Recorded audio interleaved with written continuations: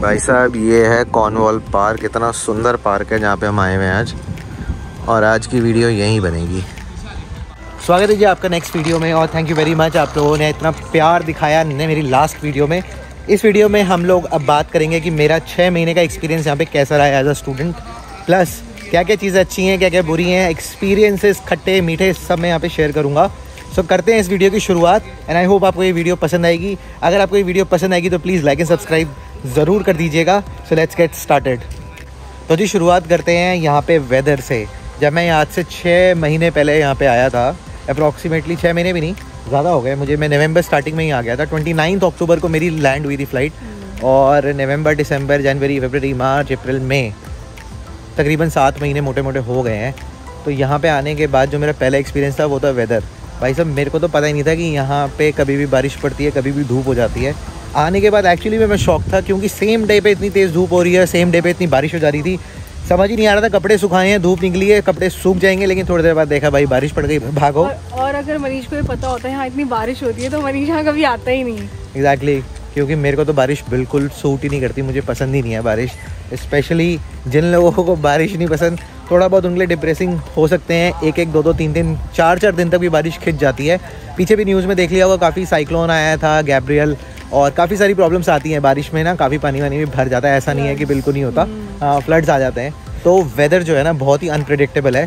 Specially मेरे लिए मेरे को तो बहुत शॉकिंग लगा था। तो सबसे पहली चीज़ तो है एडजस्टमेंट की वो है वेदर अब आ जाते हैं दूसरे पॉइंट पे, मेरे सिक्स मंथ्स एक्सपीरियंस के। तो दूसरा पॉइंट जो मैं मेंशन करना चाहूँगा ना, वो है यहाँ के लोग। भाई, लोग यहाँ पे बहुत ज़्यादा कर्टियस और फ्रेंडली हैं।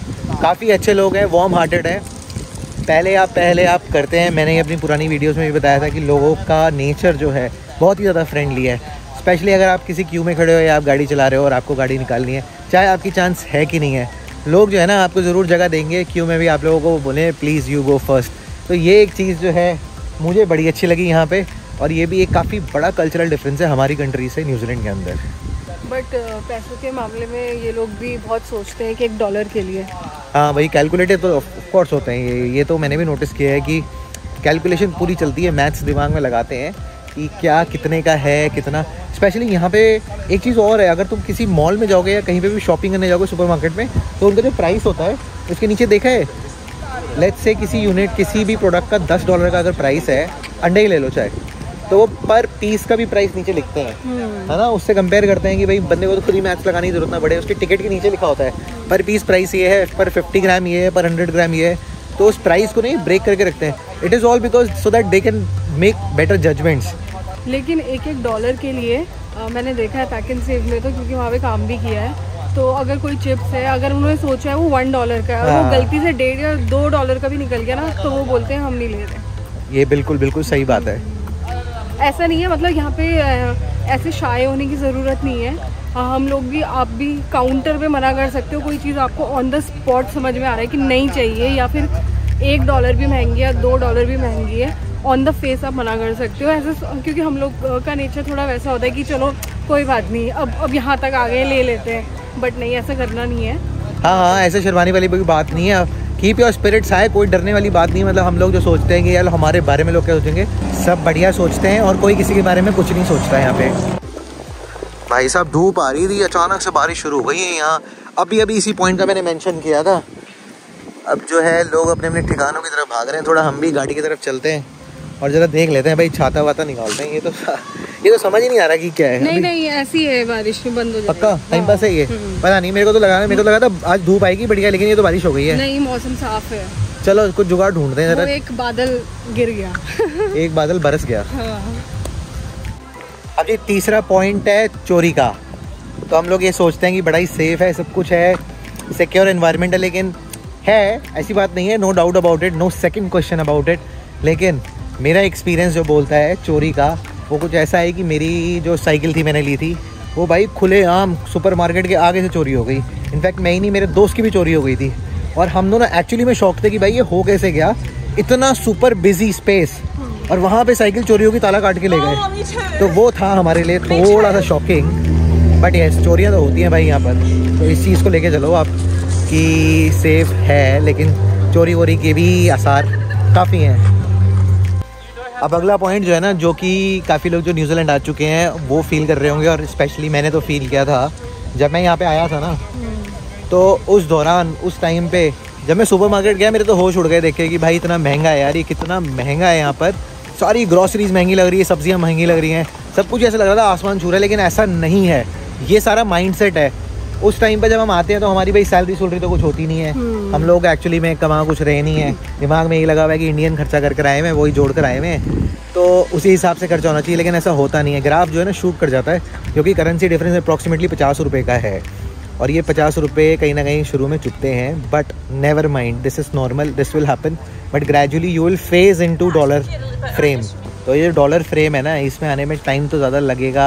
लग भी सकता है, नहीं भी लग सकता डिपेंड आपकी नौकरी कितनी जल्दी जाती है as a part time student या आपकी जो स्पाउस आते हैं, उनका full time but of course ये ट्रांजेक्शन बहुत इंपॉर्टेंट है। अदरवाइज़ तो दर्द होता रहेगा अंदर की, ये चीज़ें बड़ी महँगी हैं, ये इतने का है, वो इतने का है। तो ये जो ये जो माइंड सेट है ना रुपीज़ इंटू डॉलर का इट स्टार्ट फ्रॉम ग्रॉसरी जब आप आओगे सबसे पहले आप ग्रॉसरी लेने ही जाओगे। और ये वही इंसेप्शन पॉइंट होता है, जहाँ से कि आपको गैप फील होना शुरू हो जाता है। तो ये भी मेरा एक स्पेशल एक्सपीरियंस रहा था ग्रॉसरी के साथ। एक्चुअली ये ग्रॉसरी का नहीं है ये माइंड सेट का है रुपीज़ इंटू डॉलर का। हम्म, आप- अभी भी है। एक्चुअली अभी भी हम कुछ कुछ चीज़ ऐसी होती है कि मुझे लगता है बहुत महँगी मिल रही है यहाँ पे बजाय इंडिया के लेकिन अब इंडिया जाने का वेट तो कर नहीं सकते। हाँ। तो अल्टीमेटली लेनी ही पड़ेंगी।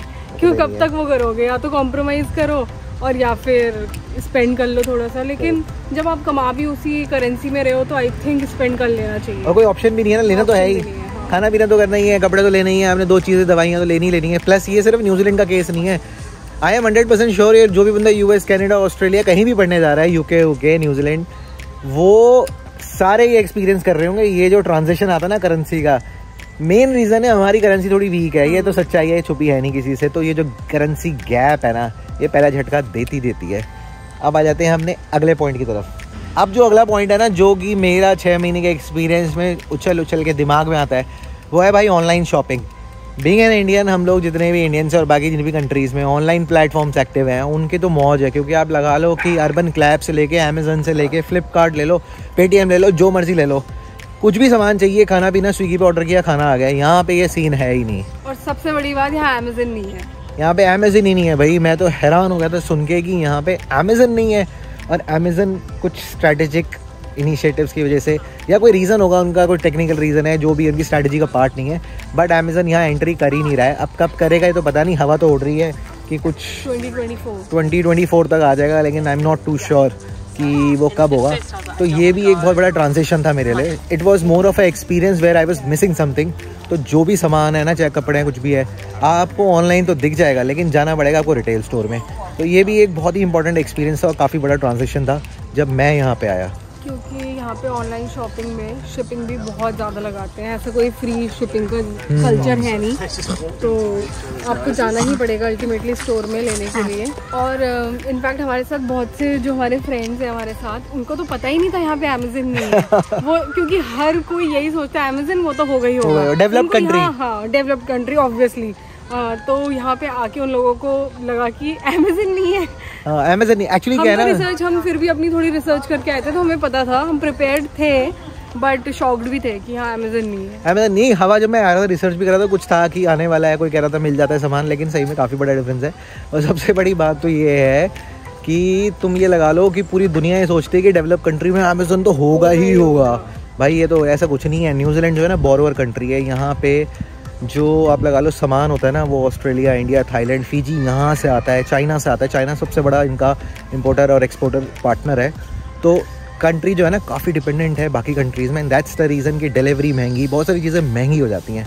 अब जी, जो एक एक्सपीरियंस है ना, जो कि थोड़ा सा ख़राब रहा था हमारा भी स्पेशली मेरा जब मैं आया था अकेले यहाँ पर, वो था एकोमोडेशन का। यहाँ पे एकोमोडेशन जो है ना, बड़ी दिक्कत है, घर आसानी से मिलते नहीं हैं। स्पेशली जब आप अपने या तो कॉलेज के पास ले रहे हो या तो काम के पास ले रहे हो। घर मिलना थोड़ा सा मुश्किल होता है यहाँ पर। एकोमोडेशन इशू है, मैं एग्री करता हूँ और काफ़ी सारे सब्सक्राइबर मुझे मैसेज डालते हैं कि भैया एकोमोडेशन कैसे मिलेगा, कहाँ पे घर मिलेगा? और मैं उनका कम्प्लीटली एग्री करता हूँ बिकॉज़ मैं वो फेस कर चुका हूँ और आप भी वो फेस करोगे क्योंकि मेरे पास इसका सोल्यूशन नहीं है। ये तो आपके लक पे डिपेंड करता है कि अगर आपको घर मिल गया तो आप शिफ्ट हो जाओगे। नहीं मिला तो आप ढूंढते रहोगे। लेकिन क्विक फिक्स आप एयर बी एन बीज दोस्तों के साथ कहीं ना कहीं से रह सकते हो। बट ये ऐसे competition is a problem that was a खट्टा एक्सपीरियंस फॉर मी टाइम लगा घर मिलने में। बट ठीक है, चलो आज की डेट में घर है, छत है। But yes that's a noticeable experience अब जी अगला पॉइंट जो है ना, वो बड़ा इंटरेस्टिंग है, जो जो थोड़ी थोड़ी घुट्टी लगा लेते हैं। यहाँ पर जो है लिकर स्टोर इंडिया की तरह नहीं होता है कि भाई टेको के बाहर भीड़ लगी हुई है, लोग आ रहे हैं, दारू ले रहे हैं। यहाँ पे होता है सुपर मार्केट्स में। आप प्यार से सोफेस्टिकेटेड में ट्रॉली लेके जाते हो, उसमें रखते हो, बाहर आके दारू ले जाते हो। लेकिन यहाँ पे स्पिरिट्स कम बिकती हैं। स्पिरिट्स मतलब कि आपके विस्की स्कॉच वोडका रम उससे ज़्यादा बिकती हैं हमें वाइन्स और बियर्स वाइन्स की इतनी भरपूर वैरायटी है यहाँ पे कि आप देख के हैरानी हो जाओगे, लेकिन आपके लिए उसको, आपको उसके लिए टेस्ट डेवलप करना पड़ेगा तो टेस्ट डेवलप करने में टाइम लगता है। तो बियर और वाइन जो है ना, यहाँ की फेवरेट ड्रिंक्स और इतनी वैरायटी है ना कि आपने कभी देखी है सोची नहीं होगी, अगर आप इंडिया में रहते हो। हो सकता है आप किसी और कंट्री में गए होगे तो वहाँ पर देख लिया होगा। लेकिन आपको जो है यहाँ पे वाइन और बियर के साथ गुजारा करना पड़ेगा। एंड साइडर्स ओ साइडर तो हम भूल ही गए। सॉरी यहाँ पे एक और वैरायटी होती है साइडर साइडर होता है basically fermented juice of apple तो यहाँ पे अलग अलग टाइप के साइडर्स होते हैं और उनके ना फ्लेवर्स होते हैं। तो वो भी बड़े फ़ेमस हैं यहाँ पे। तो साइडर तीसरी ड्रिंक बहुत ही ज़्यादा फ़ेमस है जी। तो एक्चुअली इट्स लाइक कि वाइन हमारी बनती है ग्रेप से और साइडर बनती है हमारी एप्पल से।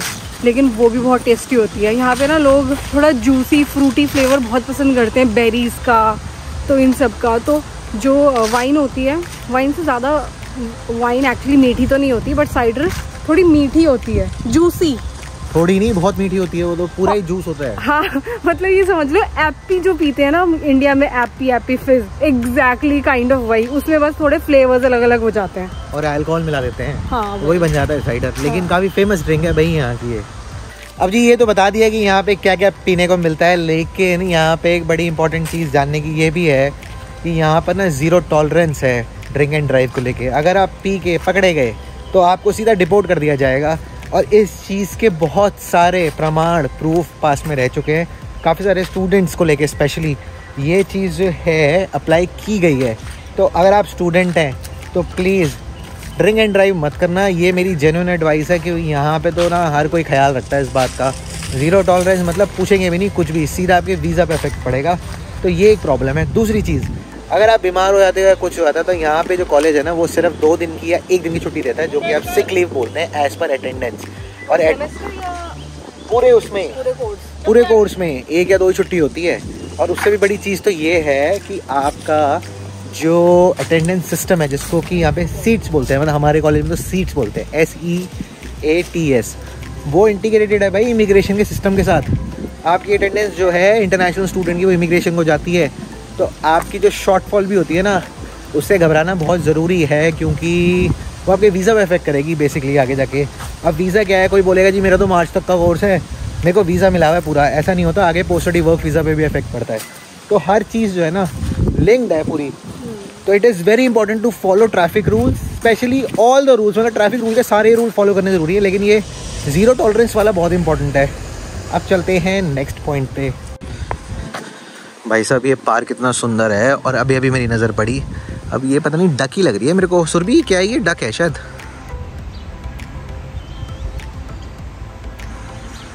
भाई, इतनी प्यारी बर्ड है, यहाँ पे खुले में घूम रही है। चाइना वाले लोग भी फ़ोटो खींच रहे हैं भाई। कोई तो खास बात होगी, इसकी डक है क्या है सुरभि? नहीं नहीं, ये। अच्छा।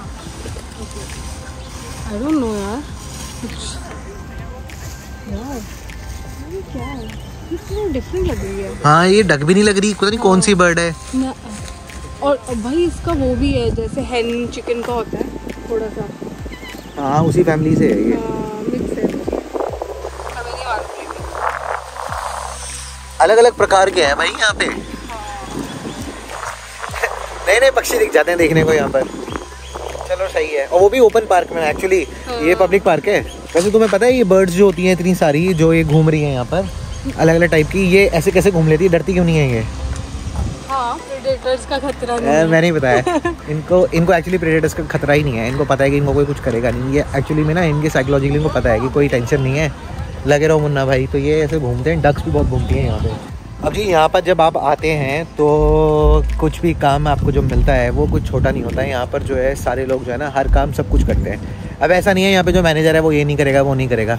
मैनेजर खुद जो मैनेजर लेवल तक गया है, वो काम कुम सीख के ही जाता है वहाँ तक और यहाँ पे सारा काम करते हैं। तो हो सकता है कि अगर आप किसी रिटेल स्टोर में काम कर रहे हो या आप किसी कॉर्पोरेट में भी काम कर रहे हो तो आपको काम बहुत आना चाहिए। सारे काम आने चाहिए, किसी एक फ़ील्ड का स्पेशलिस्ट होना ज़रूरी नहीं है। सारे काम होने ज़रूरी है किसी काम को मना नहीं करना होता। दिल खोल के काम करने पड़ते हैं यहाँ पे। तो ये जो चीज़ है ना कि आप यहाँ पे आए हो, मैं ये नहीं करूँगा, मैं वहाँ सीनियर मैनेजर था, मैं एवीपी था, मैं यहाँ पे ये काम नहीं करूँगा, वो यहाँ चलेगा नहीं। तो यहाँ पे जो है ओपन माइंडेड आना बहुत ज़रूरी है काम के सिलसिले में। चलो भैया, यार यहाँ पे ड्रोन तो मैं लेकर आया हुआ था, लेकिन ड्रोन पता नहीं मैं उड़ाऊँ कि नहीं उड़ाऊँ, समझ नहीं आ रहा है तो अंधेरा भी हो रहा है, ऊपर से पता नहीं है अलाउड है कि नहीं है। कोई दिख भी नहीं रहा उड़ाते हुए, वरना मैं सोच रहा हूँ उड़ा देता। अब दूसरे शहर में आते ना तो यही एक चक्कर है कि कॉन्फिडेंस। नहीं आता अंदर से कि उड़ाएगी नहीं उड़ाए, क्योंकि पचड़े में पड़े तो जब्त कर लेंगे, कोई ड्रोन या कुछ भी पंगा हो जाए ना, उसके लिए हम लोग अभी तैयार नहीं है नहीं, और सिर्फ़ ड्रोन नहीं स्टार्टिंग में अभी भी मतलब हमें बहुत सारी चीज़ों को लगता है यार ये ऐसा यहाँ पे हम कर सकते हैं ऐसा कर सकते हैं कि नहीं कर सकते?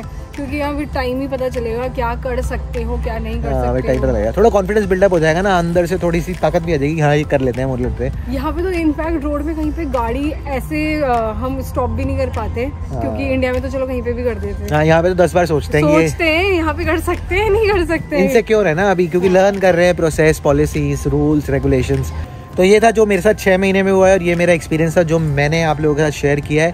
लेकिन अब छः महीने के बाद I can firmly say that it's a very beautiful country काफ़ी सपोर्टिव लोग हैं यहाँ पे। मुझे अब अच्छा लगने लगा है एक्सेप्ट फॉर रेनफॉल वो मेरी पर्सनल चॉइस है। मुझे इतना मज़ा नहीं आता। उसके अलावा कंट्री बहुत अच्छी है पीसफुल है। ज़्यादा पंगे पचड़े कुछ है नहीं। एंड ऑफकोर्स फास्ट लाइफ से जहाँ इंडिया से हम आते हैं यहाँ पे तो यहाँ पे काफ़ी अच्छा लगता है। If you have a family and if you your family comes in here with you you will definitely love it वैसे सुरभि ने भी एक बड़ा अच्छा पॉइंट बताया मेरे को इंटरप्ट करके बीच में जो कि इंपॉर्टेंट एक्चुअली में है। ऑकलैंड का जो मौसम है ना वो बाकी जगहों से काफ़ी अच्छा है। जो मैंने भी रिसर्च करी थी ऑकलैंड आने की हाँ। तो उस टाइम पे मैंने भी काफ़ी पता किया था कि भाई यहाँ का मौसम कैसा है और यहाँ का जो मौसम है इसकी वजह से यहाँ डेंसिटी भी ज़्यादा है। क्योंकि काफ़ी ज़्यादा मॉडरेट रहता है क्लाइमेट ज़्यादा बारिश ज़्यादा धूप ज़्यादा सर्दी नहीं पड़ती है। अगर आप साउथ आइलैंड साइड जाओगे तो थोड़ा एक्सट्रीम वेदर्स फेस होते हैं एक्चुअली पूरे न्यूजीलैंड में ऑकलैंड का वेदर बेस्ट है और इसीलिए ये सबसे ज़्यादा पॉपुलेटेड जगह है। Correct. क्योंकि मूव आउट कर जाते हैं लोग दूसरी जगह से साउथ आइलैंड उनको बहुत ठंडा लगता है। वेलिंगटन बहुत विंडी है। Yes. सब के सब मूव आउट कर जाते हैं और ऑकलैंड आ जाते हैं क्योंकि वेदर यहाँ का सबसे बढ़िया है। और अब हम जाना चाहते हैं वहाँ पे। इधर यहाँ वन ट्री हिल लेकिन देखते हैं जा पाते हैं कि नहीं जा पाते हैं। चले जाएँगे। अंधेरा भी होने वाला है क्योंकि हमने वीडियो बनाने में थोड़ा टाइम लगा दिया। अब यही कहानी होती है भाई वीडियो बनती है तो बाकी चीज़ें छूट जाती हैं। तो अगर आपको ये वीडियो पसंद आई होगी तो प्लीज़ लाइक एंड सब्सक्राइब कर दीजिएगा अपने फ्रेंड्स और दोस्तों के साथ ज़रूर शेयर कीजिएगा। मेरे साथ बने रहिए मेरा नाम है मनीष रावत मैं मिलूँगा आपको बहुत जल्दी। बाय